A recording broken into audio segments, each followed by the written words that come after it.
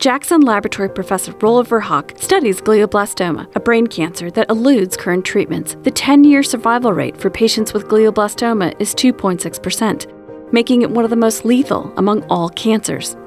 But Roel's research is enlisting a lively new partner in this fight dogs, small dogs.